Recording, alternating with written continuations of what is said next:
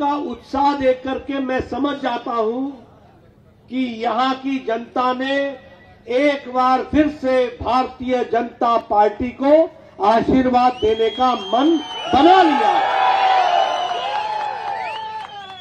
मित्रों, ये जो आपने मन बनाया है, ये बहुत सही बनाया है। ये सही इसलिए नहीं सिर्फ़ कि मधु स्वामी चुन करके आएँगे और सरकार में जाएँगे। ये इसलिए नहीं कि येदुरप्पा जी हमारे नेता हैं। ये इसलिए नहीं कि बोमई जी हमारे मुख्यमंत्री हैं। ये इसलिए नहीं कि आर अशोक हमारे नेता हैं। ये इसलिए नहीं कि पीसी मोहन हमारे सांसद हैं। आपने ये जो निर्णय लिया है, मैं आपसे कहना चाहूँगा, ये हमारे लिए नहीं। ये कर्नाटक के विकास के लिए जो आपने निर्णय लिया है, इसके लिए मैं आपको। इसमें कर्नाटक का हित है। आप बताइए, यही भारत 2014 से पहले कैसा भारत था? 2014 से पहले ये भ्रष्टाचारी भारत था। भ्रष्टाचार में हम अग्रसर थे। याद करो 2G 3G common games wealth common games का जो घोटाला था वो, और तो और छोड़िए, जीजा जी। यानी हर तरीके से भ्रष्टाचार। आज भारत अग्रगणी राज्यों में खड़ा हुआ देश में खड़ा हुआ है कि नहीं खड़ा हुआ है? आज देश आगे बढ़ा है कि नहीं बढ़ा है?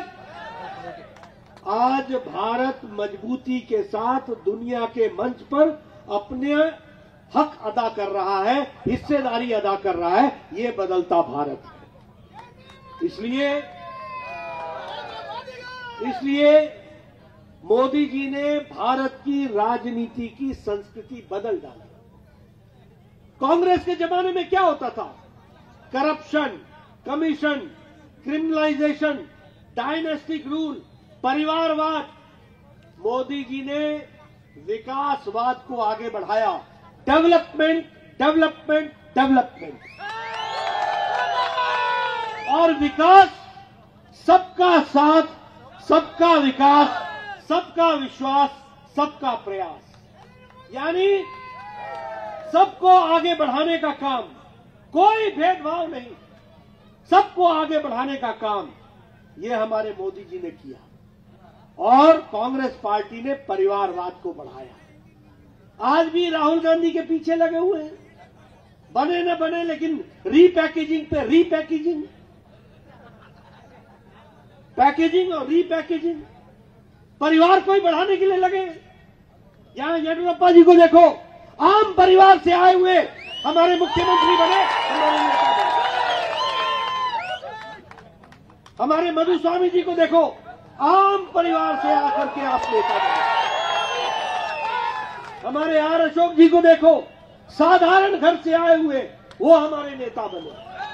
और भारत के एक साधारण घर से निकला हुआ भारत के यशस्वी प्रधानमंत्री नरेंद्र मोदी बनते हैं, इस बात को भी इसलिए भारत छोटा नहीं है, भारत कमज़ोर नहीं है। ये परिवार वालों परिवारवाद वालों ने भारत को छोटा बना दिया भारत को कमज़ोर बनाया। आज भारत का सामर्थ्य उठ करके सामने आ रहा है। और इसलिए, अशोक, इसलिए मैं आपको बोलना चाहता हूँ कि आप ध्यान में रखिए कि हमारा हित कोई व्यक्ति में नहीं है। हमारा हित कमल के निशान पर है और कमल के निशान का मतलब है भारतीय जनता। आप बताइए, आपका इंटरनेशनल एयरपोर्ट केम्पेगौड़ा में टर्मिनल टू पाँच हज़ार करोड़ रुपए से बंगलुरु में बन गया कि नहीं बन गया? बन गया कि नहीं बन गया? किसी ने नाथ प्रभु केम्पागोड़ा को नहीं पूछा था। मोदी जी ने 108 फीट की उनकी मूर्ति लगाई कि नहीं लगाई? आप बताइए, बंगलौर से, बंगलुरु से मैसूर को एक्सप्रेस हाईवे बन गया कि नहीं बन गया? अंतर्राष्ट्रीय स्तर का बना है कि नहीं बना है? अब तीन घंटे के बजाय 75 मिनट में 75 मिनट्स में बैंगलोर, मैसूर बैंगलोर, मैसूर मैसूर पहुँच जाओगे। कभी सोचा था? कभी सोचा था कि इंडिया में ऐसा होगा? आप बताइए, शिमोगा में एयरपोर्ट बन गया कि नहीं बन गया? आप बताइए कि बेलगावी में रेलवे का रीडेवलपमेंट हो रहा है कि नहीं हो रहा है? आप बताइए, बेलगावी में डिपो आ गया कि नहीं आ गया?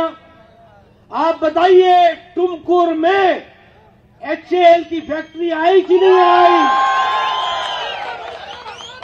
भारत का लड़ाकू हेलीकॉप्टर बनेगा तो टुमकुर में बनेगा। इस बात को हमको समझना है। आप बताइए, टुमकुर में इंडस्ट्रियल कॉरिडोर बन रहा है कि नहीं बन रहा है?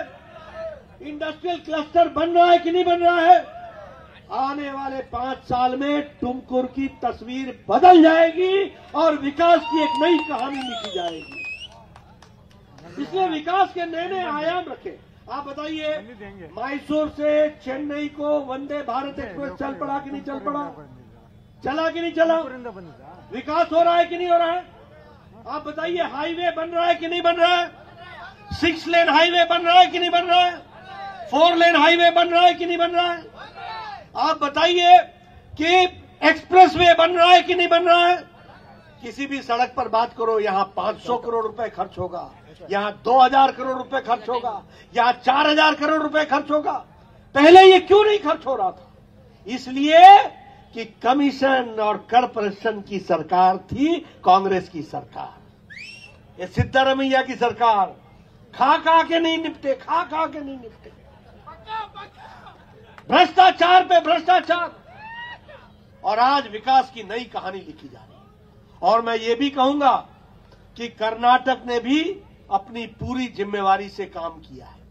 आज कर्नाटक फॉरेन डायरेक्ट इन्वेस्टमेंट यानी विदेश का निवेश नंबर वन पर खड़ा है तो कर्नाटक में निवेश हो रहा है। मैं कर्नाटक को इसके लिए बधाई देता हूँ। उसी तरीके से इनोवेशन में कर्नाटक नंबर एक पर है। स्टार्टअप में कर्नाटक नंबर एक पर है। और अगर मैं भारत की बात करूँ तो ऑटोमोबाइल में हमने जापान से ओवरटेक करके अब हम तीसरे नंबर पर खड़े हैं।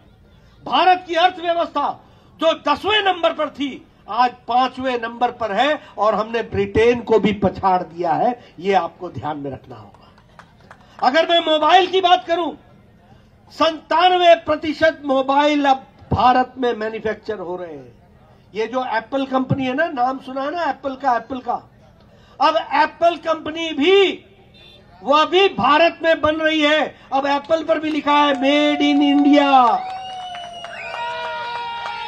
और मैं अगर नाम ठीक ले रहा हूँ फॉक्सकैन या फैक्सकॉन जो फैक्ट जो कंपनी है, उसके साथ बातचीत हुई है। बोमई साहब ने बातचीत की है। अब कर्नाटक में भी एप्पल की कंपनी आएगी और वो भी यहाँ पर मैन्युफैक्चर करेगी। इस बात को हमको समझना होगा। तो इसलिए विकास के लिए नए नए आयाम बने। आप बताइए, प्रधानमंत्री गरीब कल्याण अन्न योजना से 80 करोड़ की जनता को भोजन मिल रहा है कि नहीं मिल रहा है?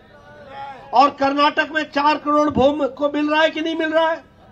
प्रधानमंत्री आवास योजना में 27 लाख मकान बने कि नहीं बने? प्रधानमंत्री आयुष्मान भारत में बासठ लाख परिवारों को जोड़ा कि नहीं जोड़ा? प्रधानमंत्री हमारे उज्ज्वला योजना में लाखों लोगों को लाभ मिल रहा है कि नहीं मिल रहा है? इसलिए गाँव, गरीब, वंचित, पीड़ित, शोषित, दलित, इन सबको ताकत देने का काम अगर मोदी जी ने किया है तो यहाँ धरती पर उतारने का काम येडियुरप्पा जी और बोमई जी ने किया, उसको नीचे तक पहुँचाया है, उसको हमको ध्यान रखना नमस्कार, मैं हूँ मानक गुप्ता। अगर आपको हमारा ये वीडियो पसंद आया हो तो इसे लाइक और शेयर ज़रूर करें। और हाँ हमें सब्सक्राइब और फॉलो करना ना भूलें। ताकि आप देश और दुनिया की कोई खबर मिस ना करें। तो जुड़े रहिए हमारे साथ और देखते रहिए न्यूज़ 24